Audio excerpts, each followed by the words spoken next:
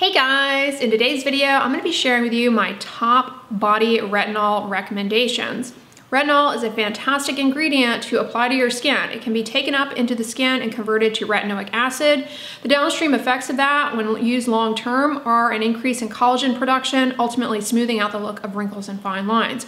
Retinol also can get rid of some of the other visible signs of photoaging, things like sunspots, mottled hyperpigmentation, and it can improve skin texture. There's no reason to restrict use of retinol to just your face. The skin on the rest of your body certainly can benefit from using a topical retinol.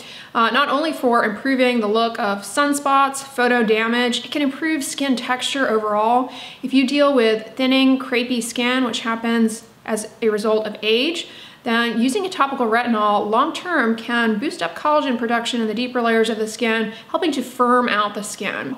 Beyond the cosmetic benefits of using a topical retinol. Retinol, it helps your skin just perform better overall.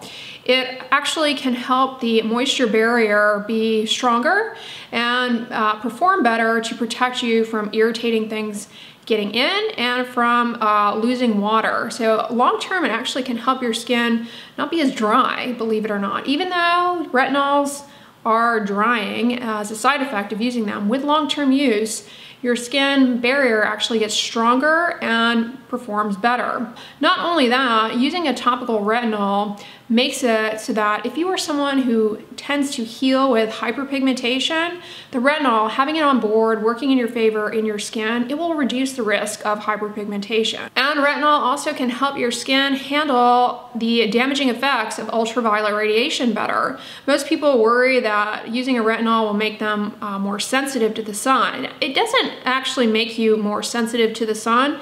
Believe it or not, it makes your skin better able to handle the damaging effects of the sun. You do absolutely need to wear sunscreen when you are using retinol uh, because it does, um, because it smooths out the surface of the skin, it allows for the sun to kind of come into the skin in a more concentrated manner, but it doesn't actually increase your sensitivity to the sun. In fact, it reduces the damage that would otherwise occur from exposure to the sun. So it's actually beneficial to have on board uh, to, to combat environmental stressors. Where on the body might you want to use a retinol? Really anywhere. Uh, chest, arms, legs, these are all areas that could benefit. Another benefit of using retinol on your legs or arms, for example, is if you have stretch marks, retinol is one of the very few things that holds promise for improving the look of stretch marks on the body, just by boosting up collagen production in the deeper layers of the skin.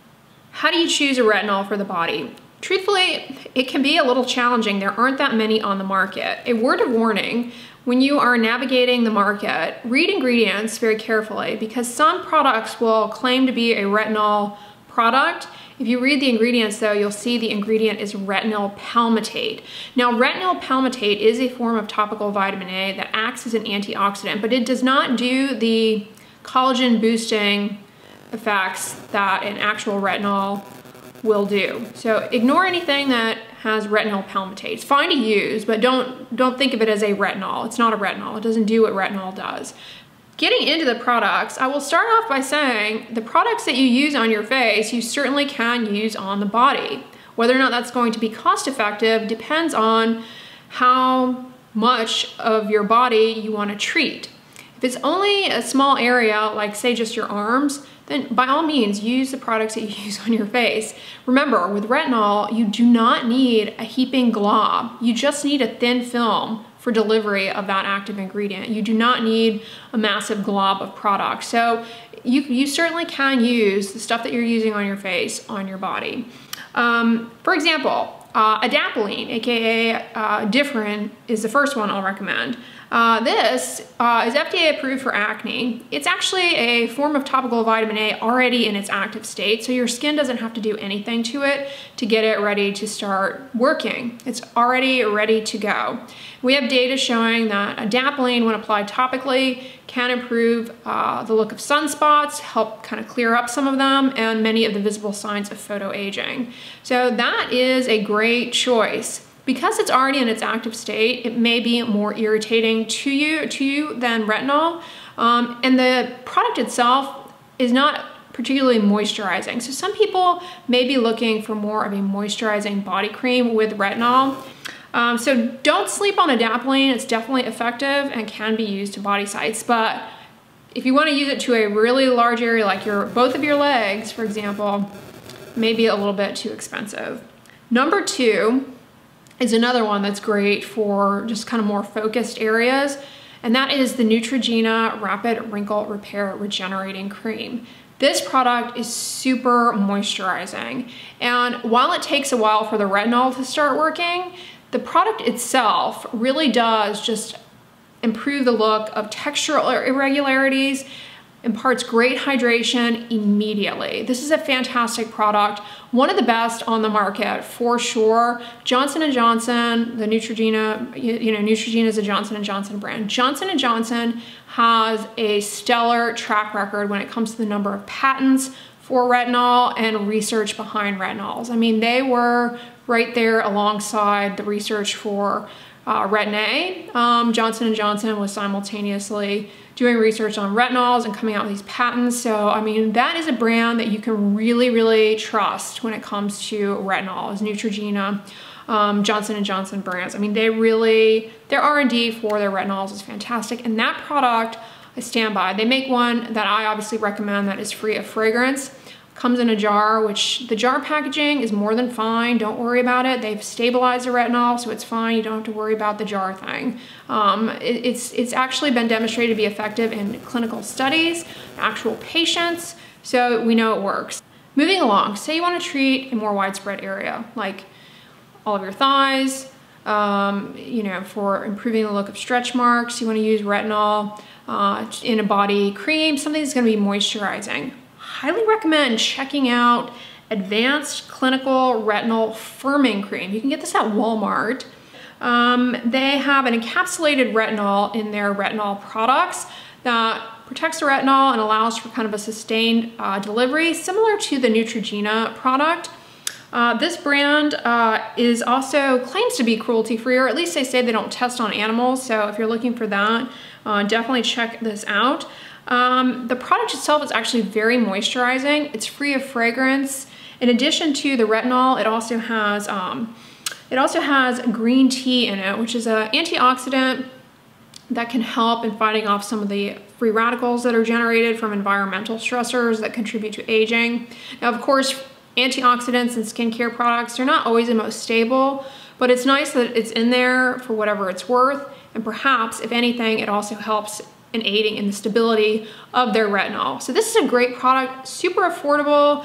For $12.92, you get 16 ounces of it. The nice thing about this product too is that it's got a pump. Now, you don't have to worry about jar packaging. There's a lot of you know false fear around jar packaging and ingredient stability. The retinol is fine in a jar package, but dang, sometimes it is just hard to get stuff out of a jar, scooping it out. Uh, it's just, you know, a little bit I don't know. It's, it's a personal preference. I too prefer a pump uh, than having to open, you know, unscrew tops and things like that. It's just much easier and I prefer a pump. So this comes with a pump, which is really awesome. Um, highly recommend checking it out. You can get it at Walmart or Amazon and Amazon is an authorized distributor of their products. So, you know, you don't have to worry about that. Yeah, it's actually pretty challenging to find retinol body moisturizers or retinol body products that are free of fragrance. It's really hard actually. Um, so that's one. The next one is definitely not inexpensive. It's by good old Perricone MD. I've recommended this. I think I recommended it in, I don't know, maybe an Ulta video. It's the Cold Plasma Plus Fragile Skin Therapy. It's currently sold out on their website, but I think you can get it at Ulta or uh, Sephora. $49 for six ounces. This product, in addition to retinol, also offers a peptide, Heptapeptide 7. Now, peptides in skincare products, at any rate, they act as humectants. They'll help your skin be better moisturized and look smoother and firmer simply by helping with hydration. This Heptapeptide 7 uh, peptide, the company that makes it claims that because the peptide mimics uh, some of the sequences in the innate immune system, they claim that the peptide helps in promoting healing and repair. And they have a study that is an industry study, so not peer reviewed or anything, in which they claim that in uh, postmenopausal women who are vulnerable to uh, crepey skin as a result of age-related change and loss of estrogen, they claim that this peptide, when applied topically, has a firming effect. So if you're someone who's got that crepey skin, if this peptide works like they claim it does, you know, that would be an additional benefit of it. And if anything, simply by having something that is moisturizing and hydrating, it will plump up skin cells and just smooth out the look of fine wrinkles and lines. And you know, that's something that we're all obviously desiring. I have to sneeze. Achoo! I am a really loud sneezer. Now this product also has 3-O-ethyl ascorbic acid. That is a form of vitamin C.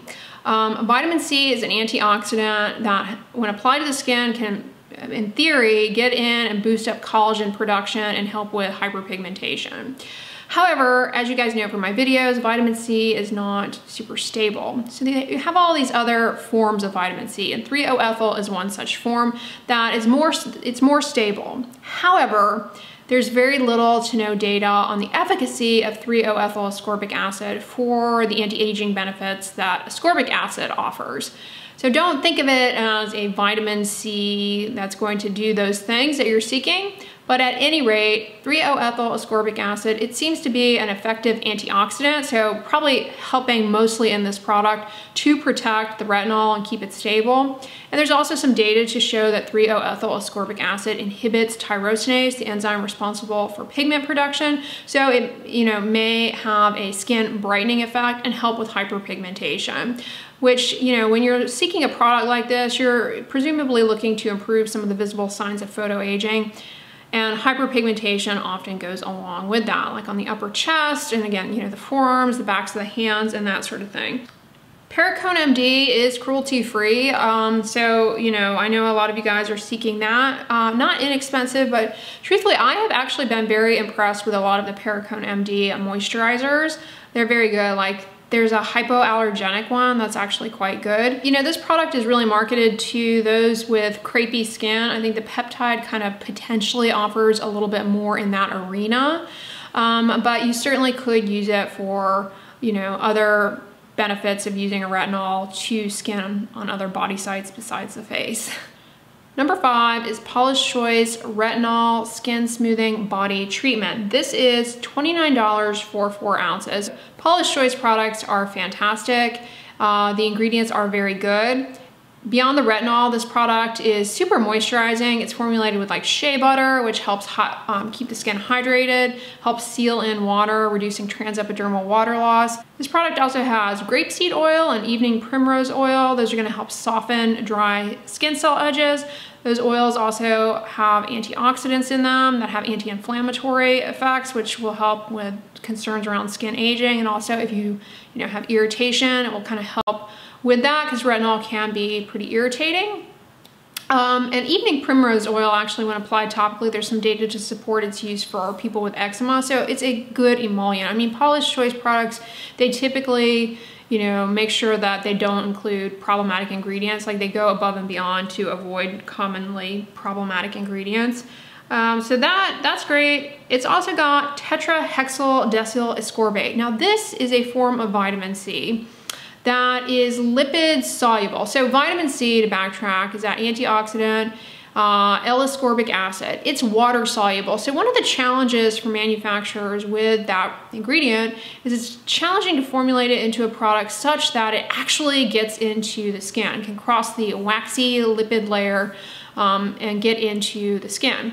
This form is lipid soluble, so it has a greater um, likelihood of getting into your skin. Unlike 3-O-ethyl um, ascorbic acid, the other form that I mentioned earlier, uh, tetrahexyl decyl ascorbate, there's actually some data to suggest that it, it might actually be effective, just like L-ascorbic acid, but very, very, very limited data. So don't get too confident in it, but at any rate, it does appear to actually get into the skin And if anything, it seems to be much less irritating than L-ascorbic acid. So if you tried a vitamin C serum in the past, found that it was irritating, don't be nervous that this has vitamin C in it. Um, it may You may find it's less irritating. Last but not least, a brand that I love um, is Replenix. Their smoothing body lotion with retinol. This is $85 for seven ounces, so not inexpensive whatsoever.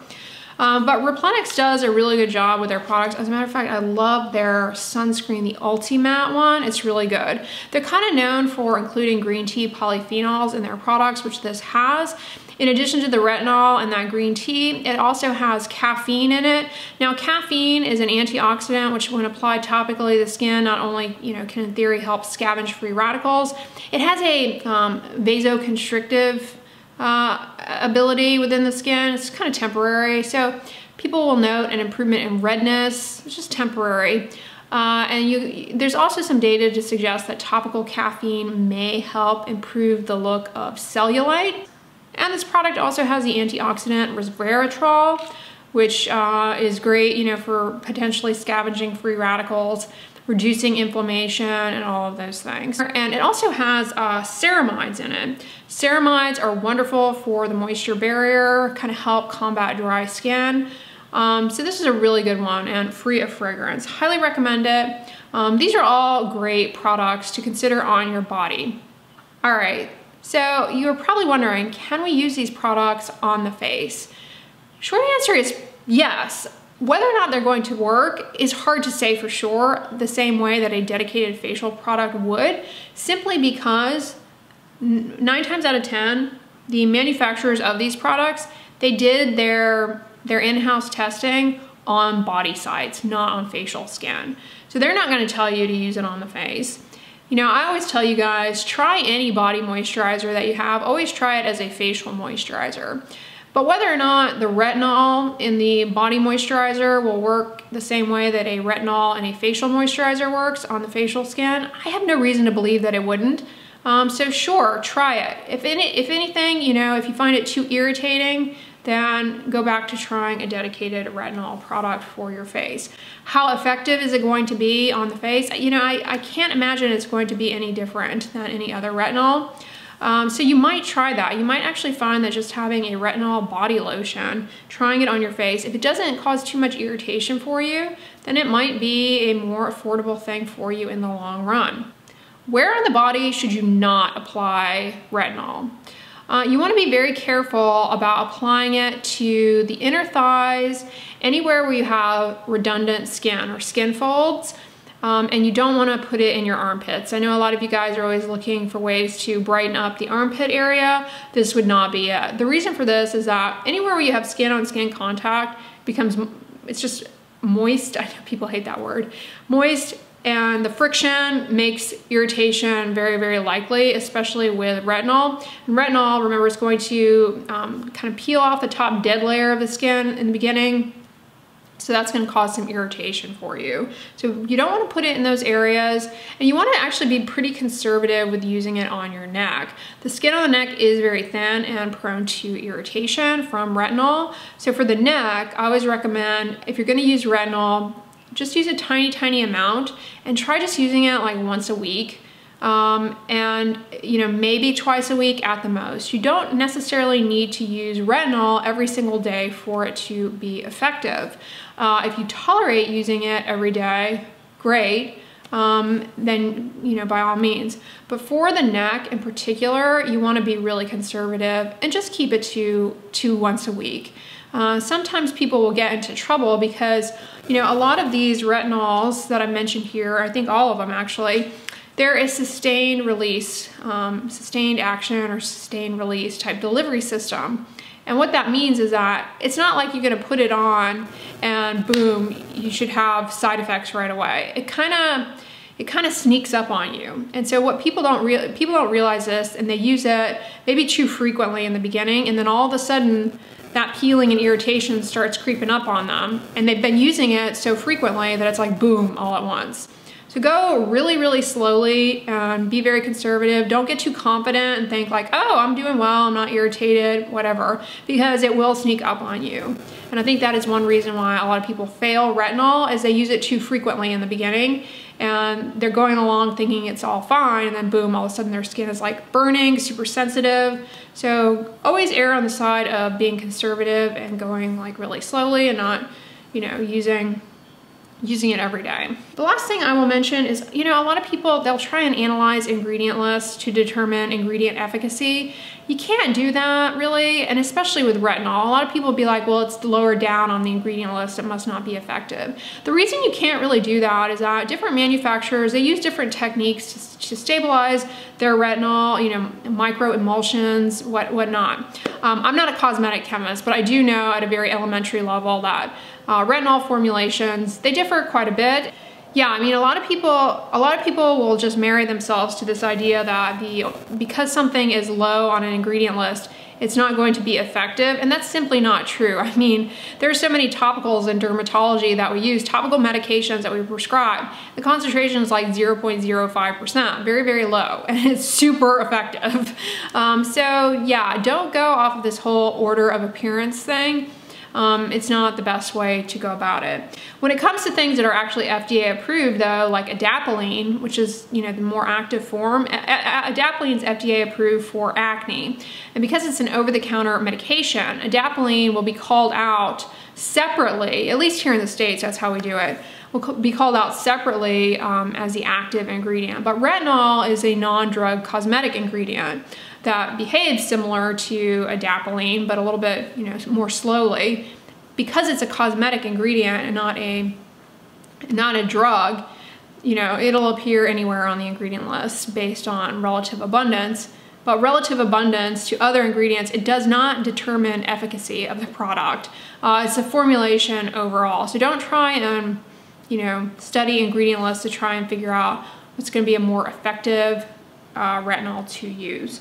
So those are my top retinol recommendations for the body. Um, I hope you guys enjoyed this video. If so, give it a thumbs up, share it with your friends, and as always, don't forget, sunscreen and subscribe. I'll talk to you guys tomorrow. Bye.